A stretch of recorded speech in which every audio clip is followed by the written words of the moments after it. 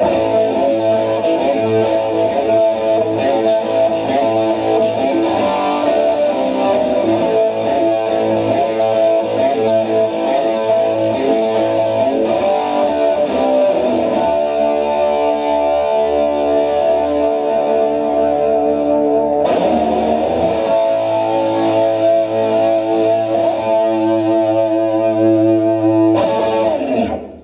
everyone, hope you're well. Uh, I am here in my rehearsal room where I rehearse with my band. Uh, we're a tribute band and we play in Switzerland. And I've been asked recently about my sound, how I get my sound live on stage. Um, and so I thought it, would- I figured it would be a good idea to make a little video um, where I explain to you everything. So how I get my sound. Uh, you know, the type of video that's ends in down and start starts with a word, word that ends in ig, ig down. I shall not say the word because, as you all know, it's yeah. John knows. He knows what I mean. So let's let's get to it. For the purpose of this demo, the sound will be coming out of those these Q, QSC powered speakers, which we use uh, to rehearse with our band. There are two of them and also there are some subwoofers which do help with the bass even though I have a low cut in my signal chain to remove some of the bass because it's not my place to be. We have a bass player for that. So let's start where we all start shall we? This is my guitar. This is a red well a purple special made by Ben Belbon of Belbon Guitars in the UK in Leicestershire more precisely and uh, this was made and given to me uh, last October, so October 2023.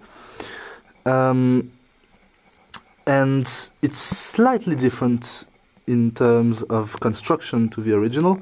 The main differences are um, the fact that uh, the top is different. So this is flamed maple, and of course the the color is different, as you probably noticed. It's a nice shade of purple. Um, otherwise, so it has a black binding, which is again slightly different from the original, which is white. And uh, what else was it different? The oh, of course, a big so Yonderbusk pickups in terms of electronics. Um, and you probably noticed, and it was the star of the show during the last meetup in England it has glitters under the fretboard. So I was trying to get a good shot of them, but you can probably see. So it works really well under white stage lights. So I set the, the lights to be a mix of purple and white here, and you can see it looks pretty good. And it's according to Ben, it was one of the hardest things he's ever he's ever made. He's not doing it again. So it's probably the only red special in existence which has this um, those glitters. And so I love this guitar very much. You can see the back. So the back is made of Sapele. I'm not sure how to pronounce that, but it's a it's a, a different strain of mahogany. So you can see the grain. So it's natural. So it's not. I don't. Ben will tell me if I'm wrong, but it, I don't think it's stained. So it's natural. The neck is mahogany as well, and it's natural as well. Whoops. Locking tuners on the back. You can see it's serial number 003. So it's it's a guitar which I just love. It's unique. There's not two guitars like that in the world. And I just knew Ben would be the right person to make it. Now to the electronics department. So it's this is my strap. I'm not sure of the name of the brand of the strap, but it's one of those self-locking ones. And it's quite useful on stage when you need to change guitars, for instance, if you break a string. So the signal goes from the guitar directly to this little box, which is a Yonderbusk strap treble booster. I think it's based on the B B149 tr- um, transistor, but I'm not sure, or capacitor, sorry. So it's it's very light, really compact, and I really love the fact that it's got an on-off switch in the middle. You can see it shining here. So I can just slip my finger in there and turn it off when I, whenever I'm not playing. Saves on the battery life, and I don't have to plug and unplug the jack every time. Then it goes into a wireless system, which is the Boss WL60T. Uh, I'm not using it today. Um, because the receiver and the pedal, the, the rest of the pedal board is in storage somewhere in this room, and I don't want to go find it. So I'll be, as you can see, I'm plugged um, from treble booster through a jack cable to the to the Helix. So let's go. While we're talking about the Helix, here it is. So this is what gets me my sound mostly. So for those who know the Helix, uh, they probably know that you can you have there's two modes basically available two modes available there's well three modes the preset mode which I don't use snapshot mode which basically are presets inside of presets and stomp mode which I rarely use now. Basically stomp mode is like a normal pedal board where you switch your effects individually on and off. And snapshot mode where I, am usually at basically it's it's like you make you make little presets inside of your preset. So the first of those snapshots the small presets which I use I just call it normal so it's just the amp some chorus that's it. Some reverb which is which is a room reverb. That's it. So let's hear how that how that sounds like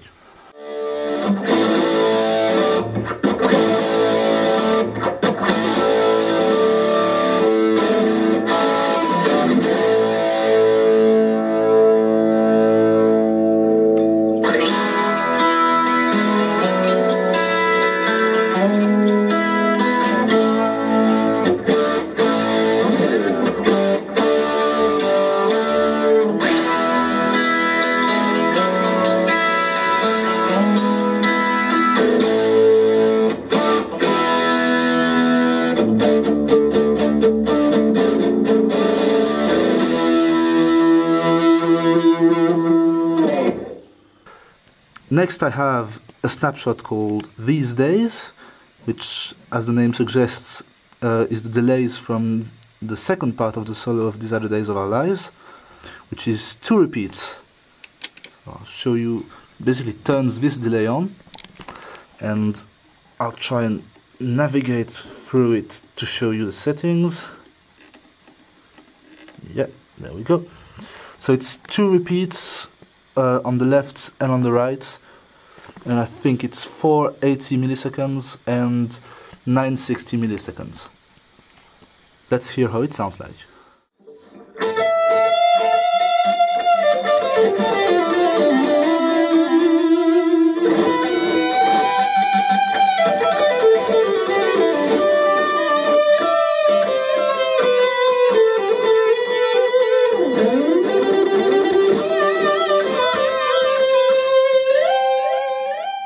The next snapshot in line is called Princes and refers to Princes of the Universe. We play a bit of that song uh, during our medley with the band. Uh, and so this is just for the harmonies at the beginning of the song. Um, and so it turns on these two harmonizers there, which feed the same harmony line.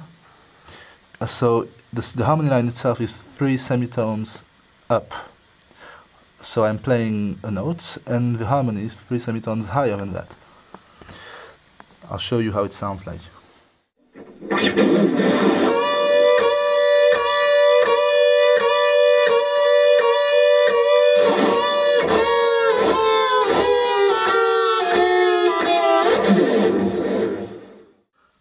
The next snapshot in line is called Solo and this is just a volume boost booster I think 3 decibels and a slight delay which is turned on and it's just to sound a bit better during the solos whenever I play a solo. I know Brian doesn't do it himself but he probably has people at the desk turning him up whenever he's playing a solo and of course you can always always hear some delays. So that's my way of doing it. I just turn that on and I'm just slightly louder and I have a little delay going on.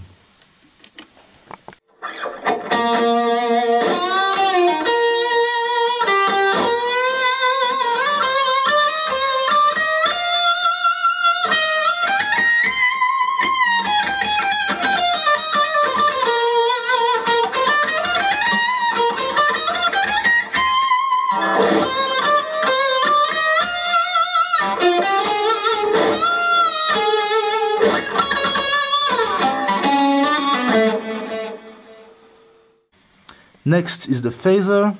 Um, this is my approximation of a Fox phaser. So if I turn, him up, turn it off, uh, on, sorry, I'll show you. So I use a Script Mod Phase, which we all know, I think, the equivalent in the real pedal world. Um, so it's just to give me an approximation of the Fox phaser, and I, I use it only during Keep Yourself Alive.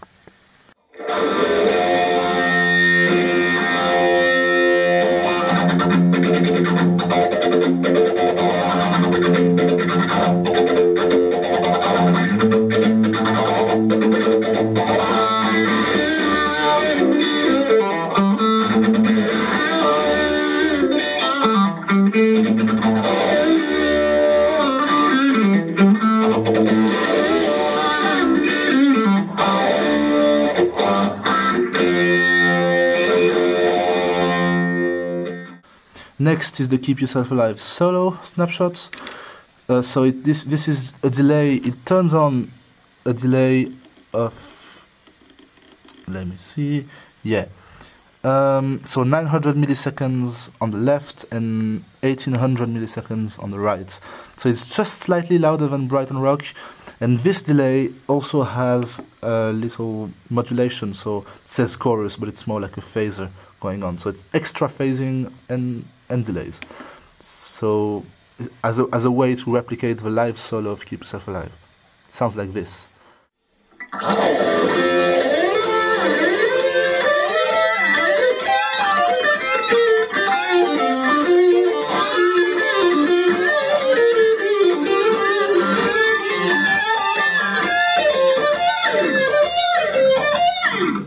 Next in line is a snapshot called Magic, which I use to uh, replicate the short, well, the long delays um, in the bridge just before the solo in a kind of magic. So, this flame that burns inside of me.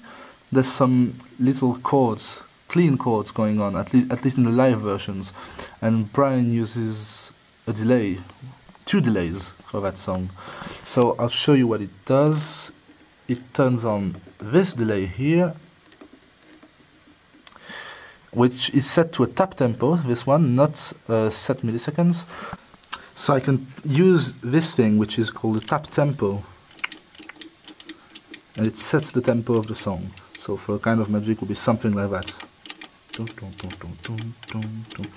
And now the delays are linked to it and will play in time.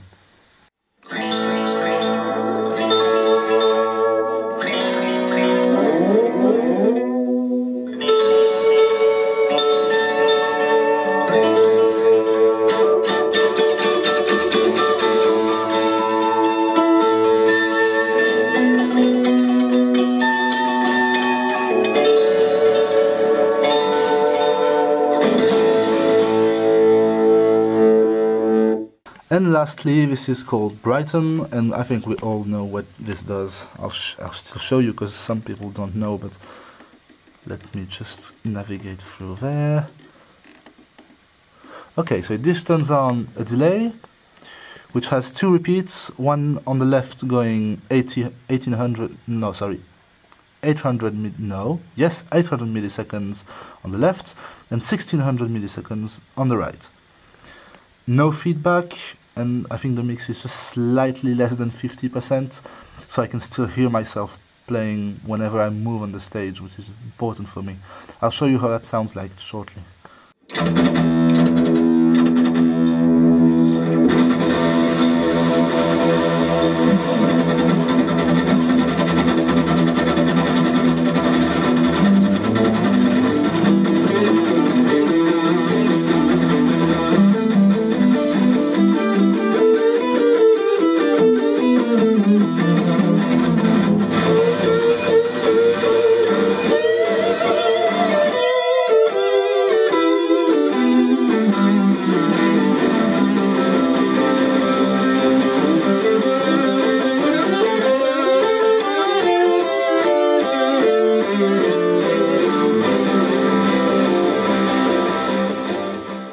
Another thing which I use is the wah wah. So in this case, I use the Helix expression pedal, which you need to press really hard.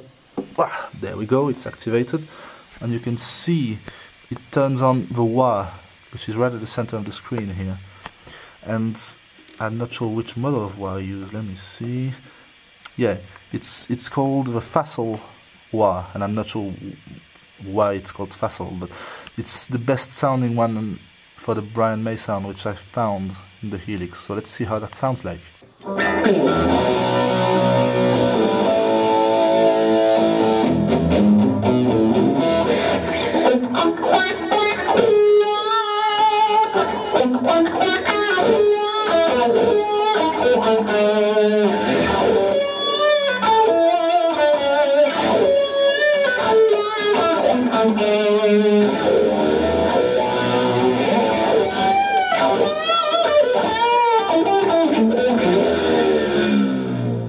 Let's talk connections.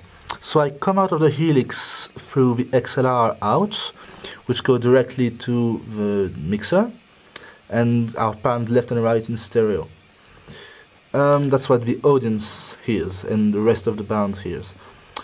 Um, I also go out of the quarter inch out, uh, only the left, and this goes to a Headrush FRFR speaker which is the 8 inch version and I just use that for the guitar so it's just a way to hear myself better and also it helps with the feedback so I can push push it very high and if I angle it in, in, the, in a proper way I'm not disturbing the rest of my band and I can still get some nice feedback which I'll show you later.